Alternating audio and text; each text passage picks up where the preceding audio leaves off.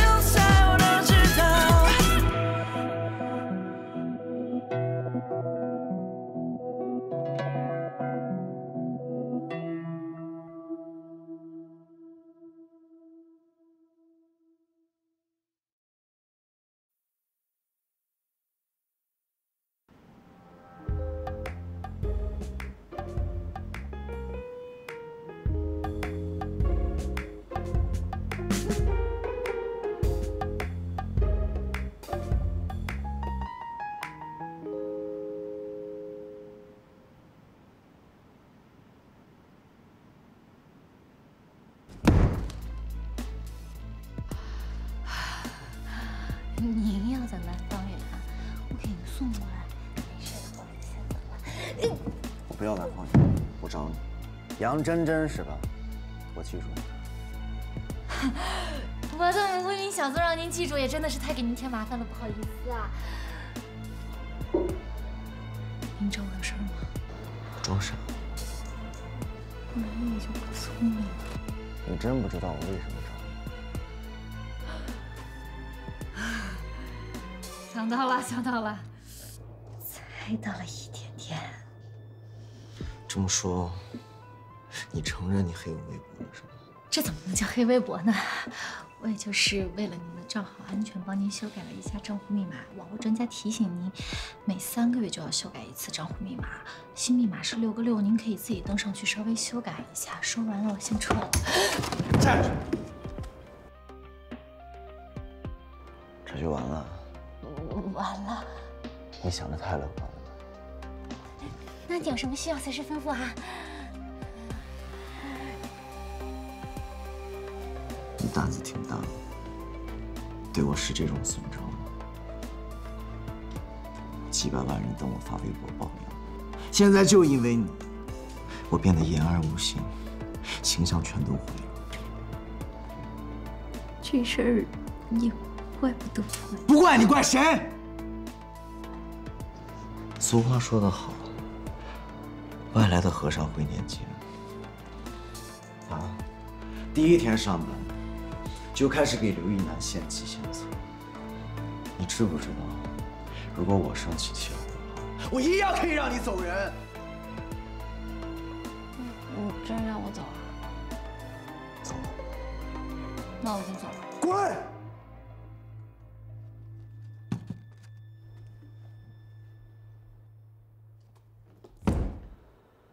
不对呀凭什么呀？刘一男也拿辞职来吓唬我，你也来吓唬我，你们两个大有什么问题，自己面对面去解决就好了，像一个男人一样去战斗呀。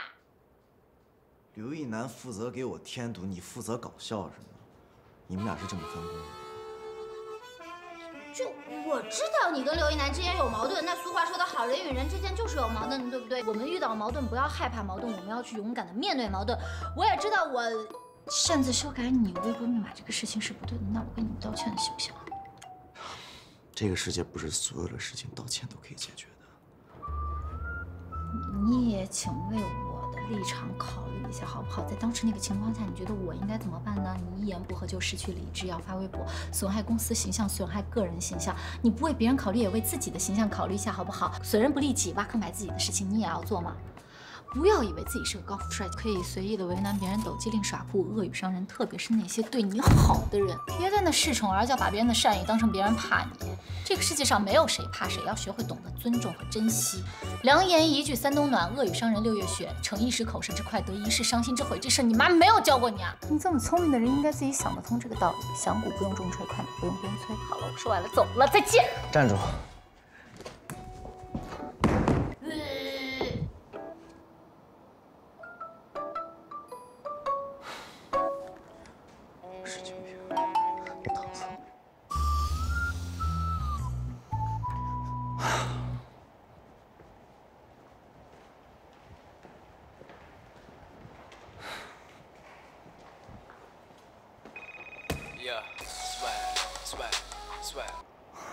喂，钱哥，怎么了？小旭，董事长身体有点不舒服，你要是有空的话，就回来看看他吧。好啊，再见。他答应了，晚上回来吃饭。好。这个混蛋小子啊，想见他还得装病。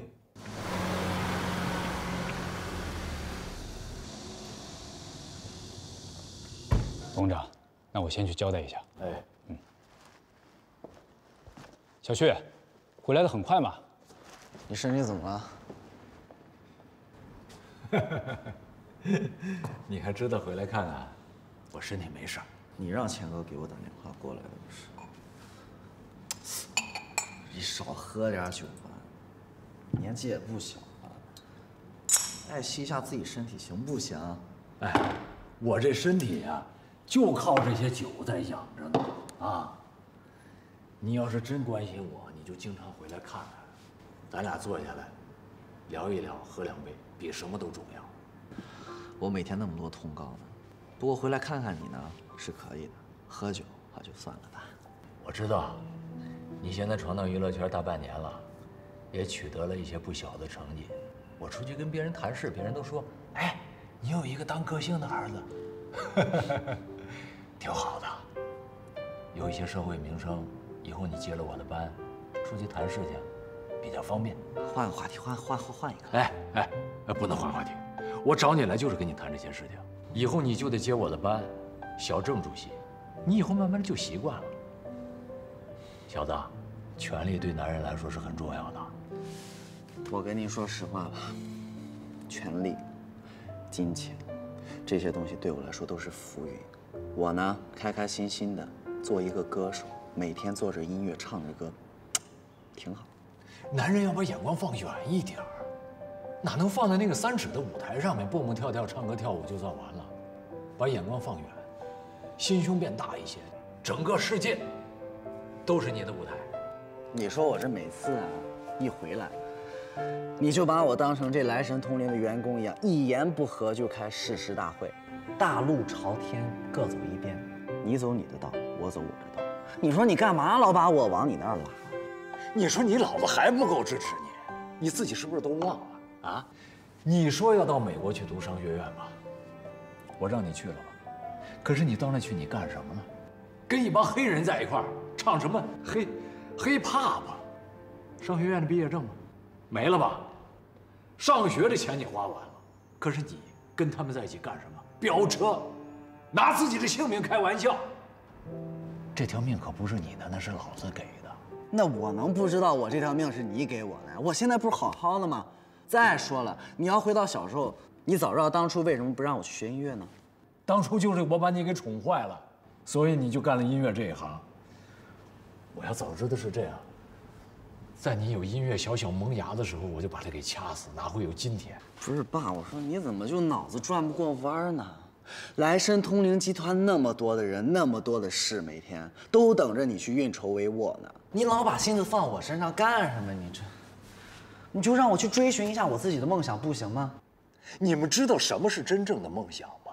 我怎么不知道什么是真正的梦想？C-pop。就是我真正的梦想，我就是要把中国的音乐让全世界都听到。怎么了？虽然用的时间会长一些，但是我只要坚持不懈努力去做的话，我相信一定可以成功的某一天，明白吗，爸爸？不是黑 pop 吗？怎么又变成 C pop 了？我告诉你，我这完全是追随你的脚步，以你为榜样的爸。你要论生意，我这辈子都超越不了你啊，爸。但如果你去让我追寻我的梦想，说不定我还有一点点的机会实现它。你再玩几个月，春节过后你回来，好吧？接替你老爸的位置，学习当这个莱森通灵公司的董事局主席。我跟你说了多少次了，我对你这主席不感兴趣。你今天把我叫回来，就是要让我崇拜你的是吗？莱森通灵几万个职工都崇拜我呢。我可以崇拜你，同样，我也希望你能支持我，尊重我的选择。我说了，我要做的事情我不会放弃。今天没有选择，你听也得听，不听也得听，不能给你选择。外人不支持我就算了，你是我爸。你也不支持我，你血压高，我不想惹你生气，走了。哎，你就这么走了？你说了我血压高。董事长，你别生气，我看小旭他现在过得挺好的，您就再让他自由一阵子吧。他是您儿子，迟早会回来帮您的。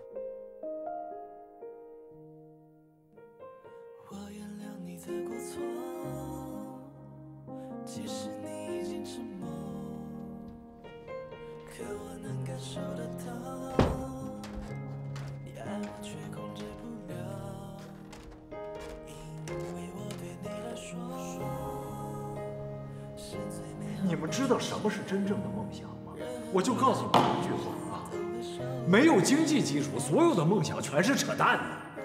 爷爷没有继承太爷爷的玉石生意，断了家族前程太可惜了，所以你去拜师学艺，一门心思想把珠宝生意做大。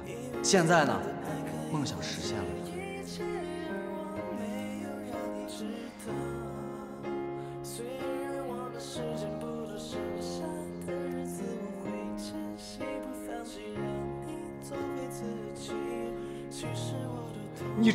陈天浩那个星空娱乐他是看中你的音乐才华？他看中的是你老爸口袋里的钱。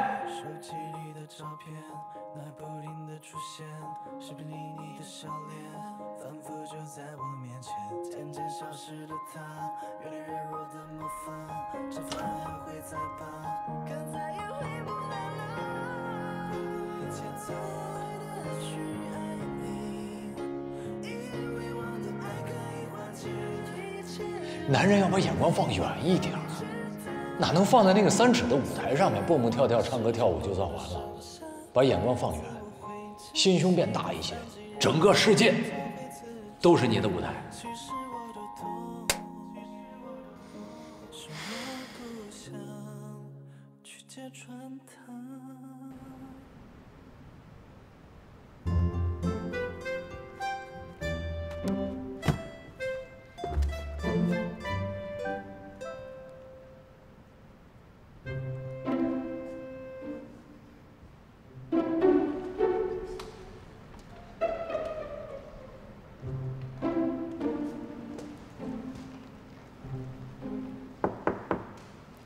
来的你挺悠闲的嘛，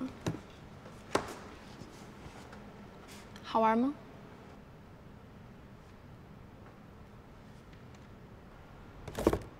你一会儿去楼下大堂取个快递啊，取完送到办公室来，快去啊，腿脚利索点啊。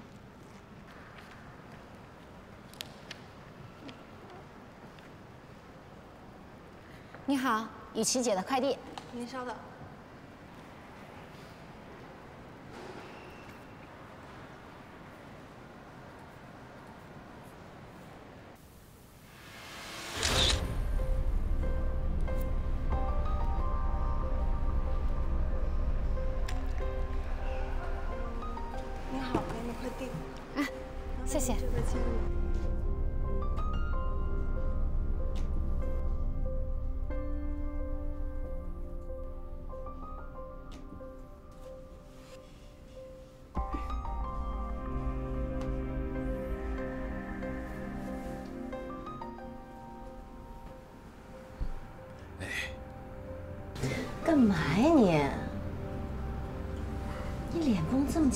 出水来了。不是跟你说了别来公司吗？怎么不听话呢？你就这么不愿意见我是吧？不是，这是公共场合，人多口子。可是我想你了。哎，你这小姑娘太直接了，我老人家吃不消。我还小姑娘啊，打电话不接，发微信不回，是你逼我找上门来的。那来就来了，我们就谈公事啊，谈公事。请坐好。哎，请。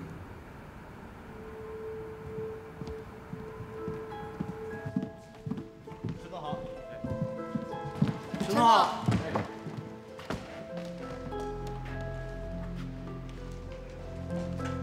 随便坐。我还是第一次来你办公室呢，不错啊。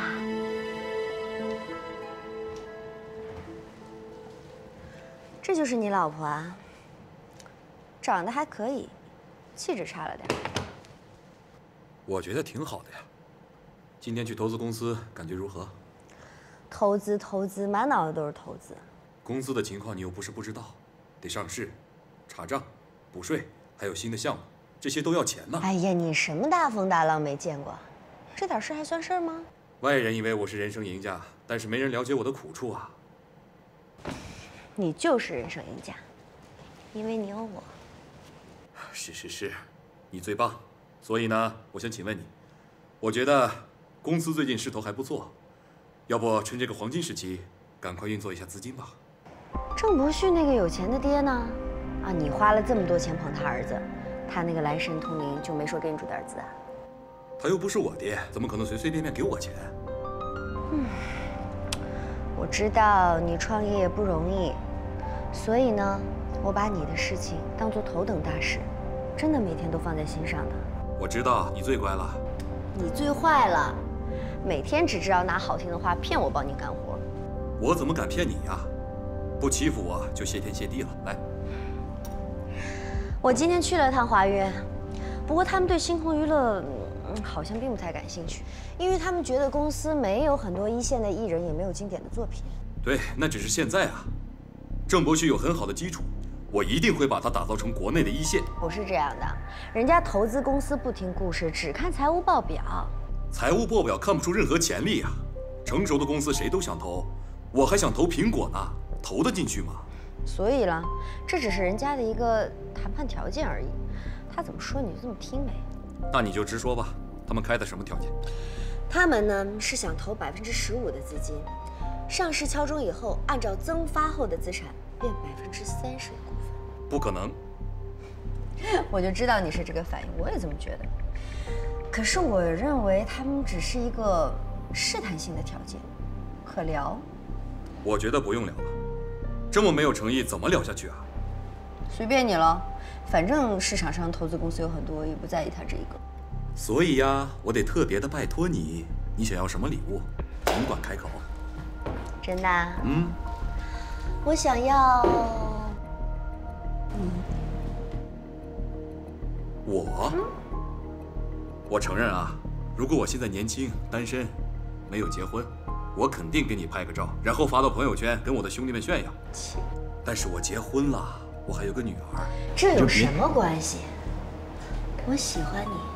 我谢谢你，但我配不上你。我拜托你，以后有什么事情，我们约外面的咖啡厅，别来公司了，啊？所以你这是在求我吗？嗯，我考虑一下。喝点水。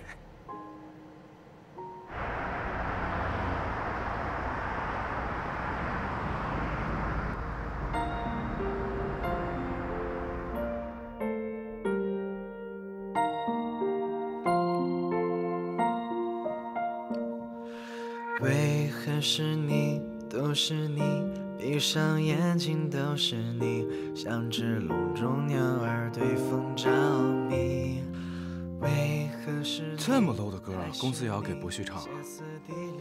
现在口水歌泛滥，公司为了追求商业利益，我也很无奈，例行公事吧。那么喜欢你，身不由己，每一秒钟的剧情里，全都是你。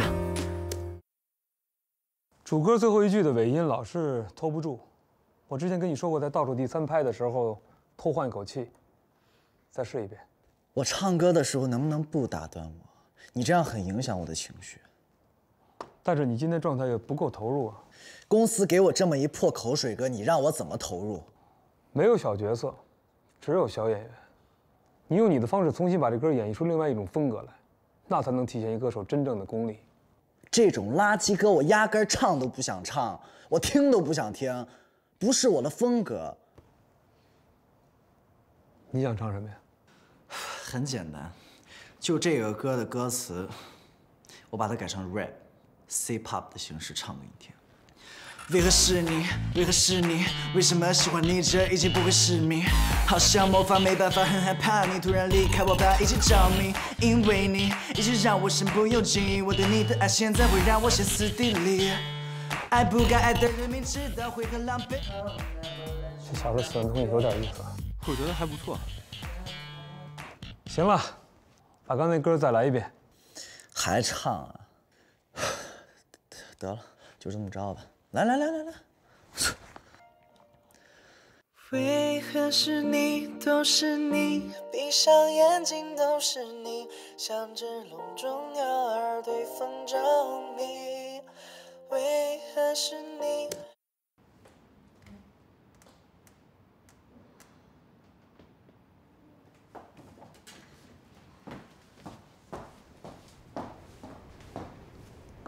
郑柏旭的新专辑我听了，唱的太一般了，不仅唱的一般，选歌也一般。哎呦，那郑柏旭是偶像歌手嘛，他那歌粉丝喜欢就好。他再偶像也是一名歌手吧，不能这样降低自己的要求。那还是得慢慢来呀，这常然不是给他调呢吗？他肯定会进步的。但是再怎么着也不能降低自己的水准。好了好了，我真的不想跟你讨论这件事情了，我还有更重要的事情让我头疼呢。我听说，公司要来一名美女投资人，是吧？哎呀，什么美女不美女的，投资人就是投资人，别总是听别人胡说八道，行吗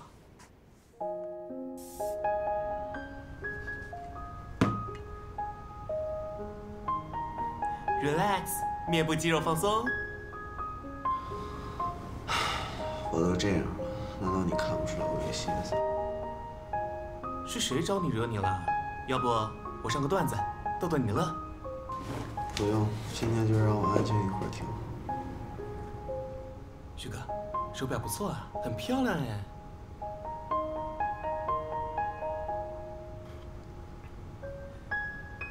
怎么了？心思还蛮重的。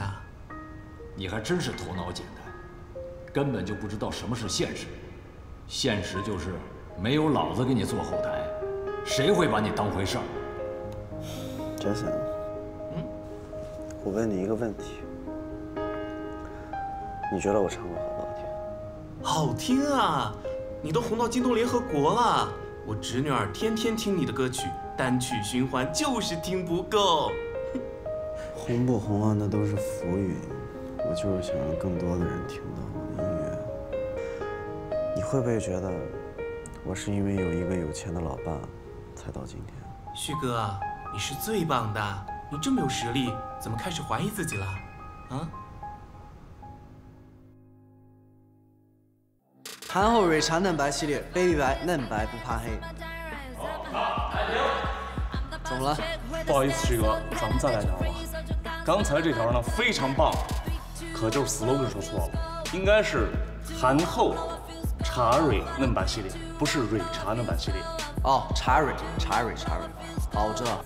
好了，好来，准备来，好来，开机，准备，三、二、一，韩后茶蕊嫩白系列，baby 白，嫩白不怕黑。停，好停。呃，咱们换身衣服再来一套吧。好。小姐。哎，来了。旭哥。我这件衣服太大了，一点都不合身。不可能呀！我是按照尺寸改的。谁给你的尺寸？孙姐给我的尺寸。我是按照孙姐给我的尺寸向韩后公关公司那边报的。我就说这个孙雨熙，她作为我的经纪人，连我的尺寸都搞不清楚。我每次需要她的时候，她都不在我身边，什么？她干什么去了？是雨熙姐给错了。我没法拍今天。不行啊，旭哥，韩后这支 TVC 下个月就要投放了，如果你现在不拍，那后面就没有时间拍了。我拍出来的东西自己都不满意，广告商会喜欢吗？客户为什么会找我？不就是为了东西拍出来能好看吗？旭哥，要不凑合凑合先拍了吧？你知道我最讨厌的两个字是什么吗？就是你刚刚说的凑合。不管是工作、生活上，我都不喜欢凑合，要认真，你明白吗？嗯，可是现在工作人员都在外面等着，而且行，我知道了，马上还要赶飞机。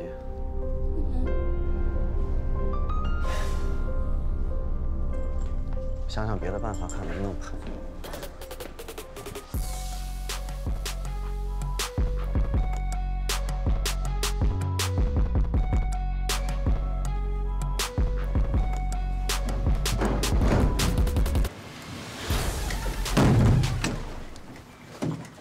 长那么大个儿，你连个箱子都拿不好，干点什么呀？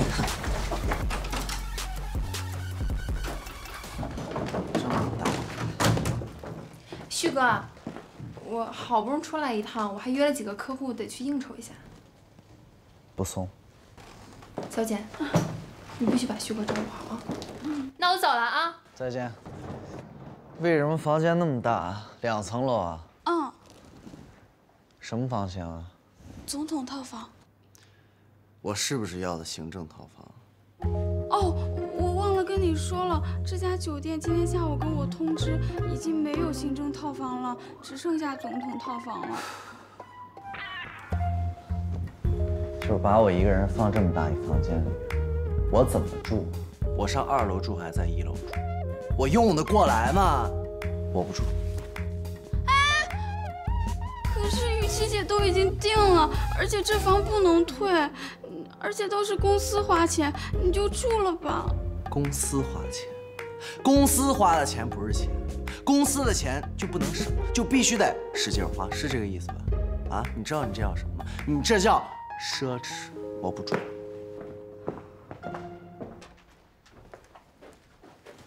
哎，军哥，郑木旭，郑木旭，郑木旭，你好，我们是音乐台的，可以采访你吗？得选秀节目的冠军，是有人在暗箱操作，请问这是真的吗？跟你有关。听说你是来生通灵的大公子，你的父亲是不是投了很多钱来捧你啊？我们没有投资娱乐项目，但是我们得到的消息却不是这样的。你比我爸还了解我们投资的状况，有证据拿出来，没证据就闭嘴。我们只是求证一个事实而已，你这个态度是不是心虚啊？就是啊，你的反应也太强烈了，是不是有什么内情啊？你能不能跟我们说一下？你的第一名到底有是不是和什么隐情实力无关的？让你获得了选秀节目的冠军？你投了能不能告诉我们一下？能不能跟我们说两句？我们解释一下。对，你现在跟我们说一下。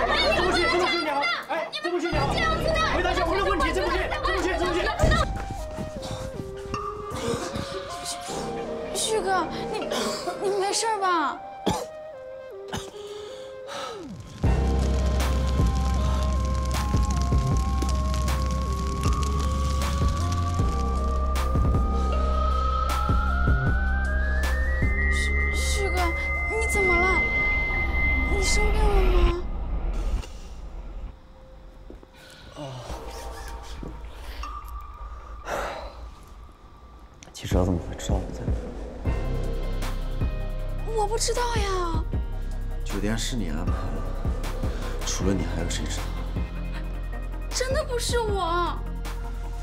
你刚刚为什么不拦着记者？对不起啊。你别说对不起了，行？你除了会说对不起，还会说什么？对不起，我不该跟你发脾气。帮我拿杯水。姐，我跟小简谈过了，她死活不肯再给郑博旭当助理，宁可被开除。半年换了四个助理，小姐你应该是干的最久的一个吧？嗯，她脾气好啊，忍了两个多月。你带的艺人，现在出现这样的问题，你得给我解释。那也不能怨我吧？那郑柏旭那么难伺候，我能坚持到今天，已经很不容易了。别糊弄我，好事儿你就抢着露脸，麻烦事都推给助理，你以为我不知道？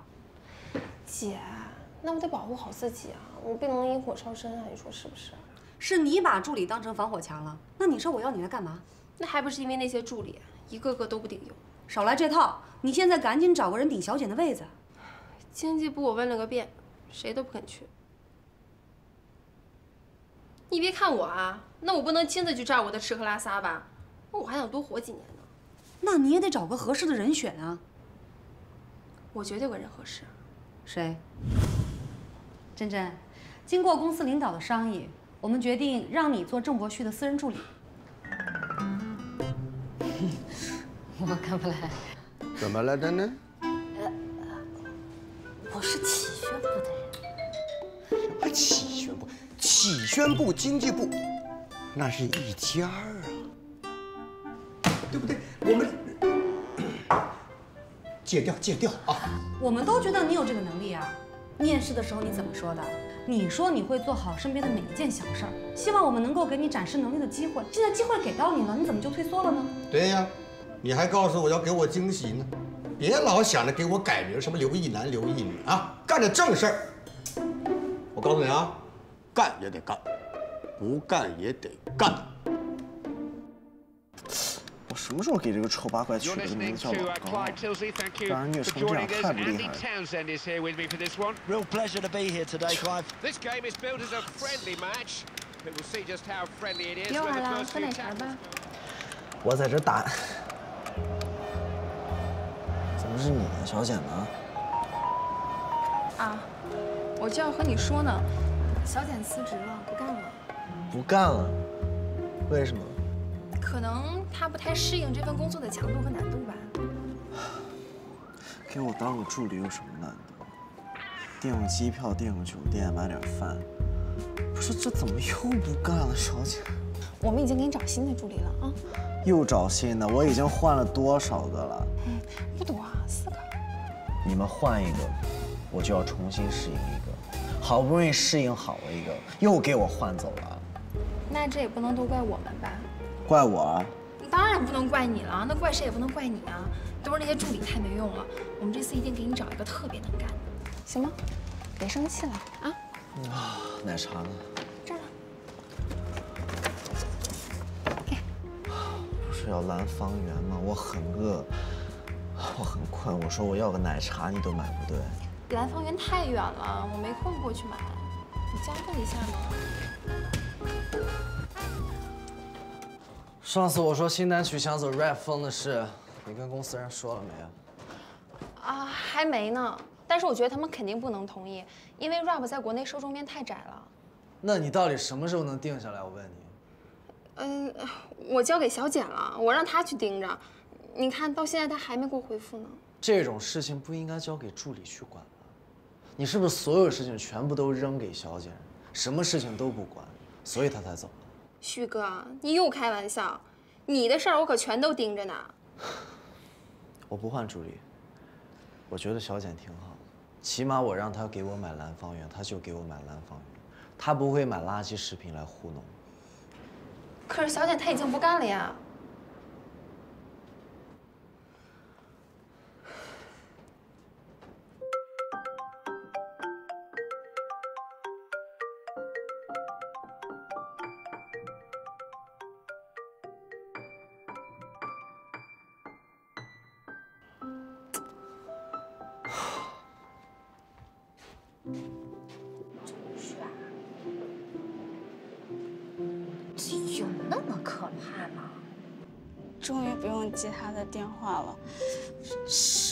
己太没用了。姐，我觉得你挺努力的。真的吗？旭，你别担心了，新助理已经给你找好了啊，很快就到的。哎，又换。我不管你这次找什么样的助理，换什么样的助理，我希望能是一个长久一点。别老是在我试验完之后又给我换。谢谢你啊，玉总、刘总、孙姐，他们从来都没有这样夸过我。徐哥也说看见我就来气，他也来气。刘总就会说我不会办事儿、笨，而且孙姐还说，要不是因为我脾气好，早就不让我干了。太过分了，哪有这样的助理啊？这不就社区包吗？是我自己太没有能力了，又没有文凭，反应又慢，最主要的是还不懂音乐。哪儿有啊？我我听公司同事说了，是郑国旭太难伺候，跟你一点关系都没有。你能坚持到现在，他已经很难得了，所以你别自责啊。谢谢你啊，杨真真，我跟你认识没有多长时间，但是我知道你是一个好人。我辞职，全公司上下就你一个人请我吃饭。但是我告诉你，一定不要当旭哥的助理，他这个人性格太古怪了，太难伺候了。你别哭了，我们去吃好吃的好不好？好，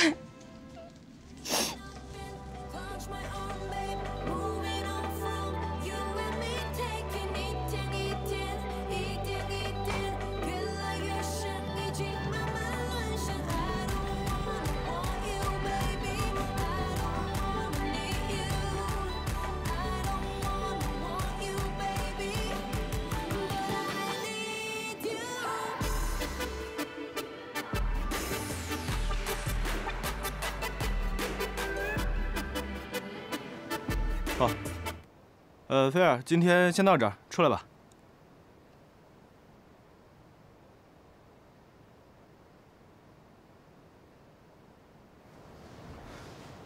这个也不行，听了好几个，没一个满意。哎，有没有去酒吧看看？现在酒吧跟以前太不一样了，以前好歌手都扎堆在酒吧唱，个顶个的有天赋。现在歌坛成名立万的这批，你说哪个没在酒吧唱过？现在呢，全玩选秀去了，选秀可不行，黑幕太多了。都是在想着怎么秀。没有人专心在音乐本身，拼的就是那点粉丝。还有拼财力的。你说郑博旭啊？乔然，星空娱乐当初我们最早创立的时候，是我们三个人抱着对音乐的最纯粹的梦想。但是你看看现在，我们公司力捧的当红艺人，却是一个富二代。我真的不知道他是怎么想的。天浩作为公司总裁，可能看事情角度跟咱们不一样吧。但是不管怎么说，在现在这个环境下，能把公司做成这样，马上要上市，他也着实不容易。嗯，你不愧是他好兄弟，敬畏他说话。公司盈利上市什么的我不懂，但是你也是做音乐的，你应该知道，音乐和内心、灵魂是息息相关的。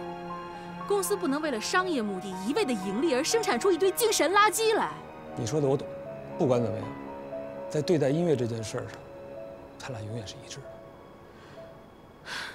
你这么说，我放心多了。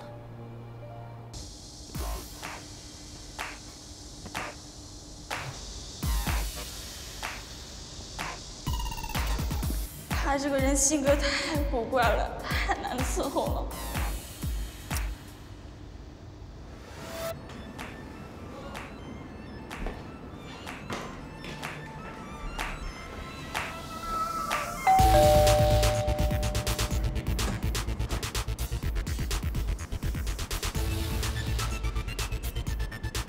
是你啊？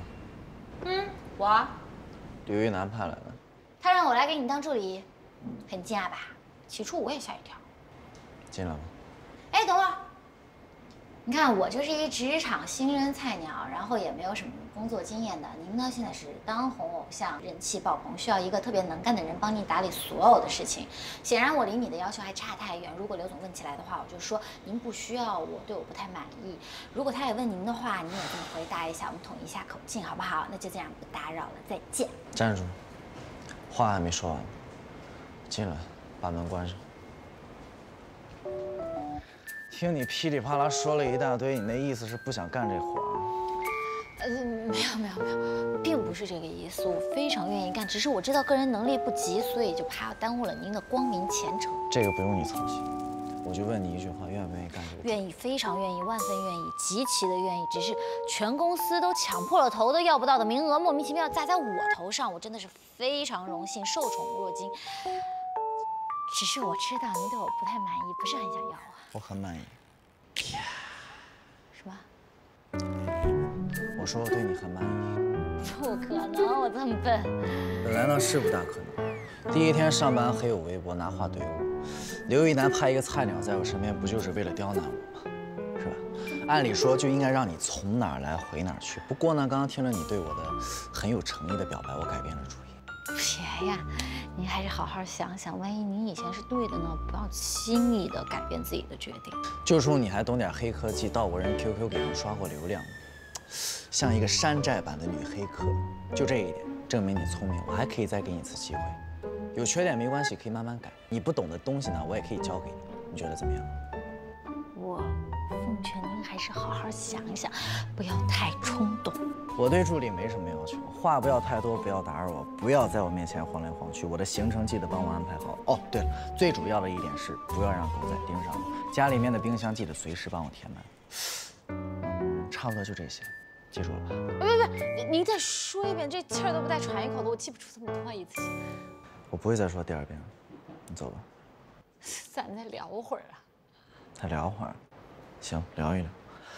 你以后呢会经常跟我出现在公共场所，你的这个造型，我看着都憋屈。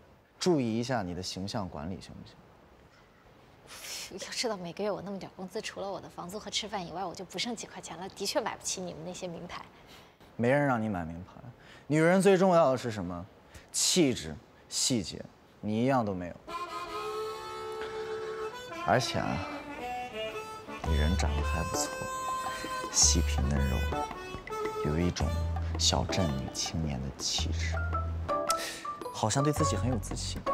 自信呢，遮百丑。你再看看你这个包，别人一定只会记住你这个包，记不住你这个人。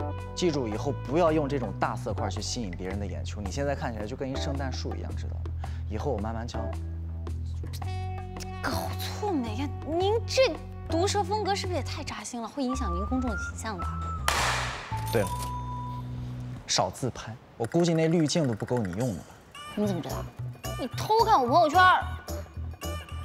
我有那闲工夫。你的气质已经告诉我你是一个自拍狂，你以后随便自拍没关系，只要不带到我，就 OK。你可以走。这是钥匙跟房卡，以后你的门。包门。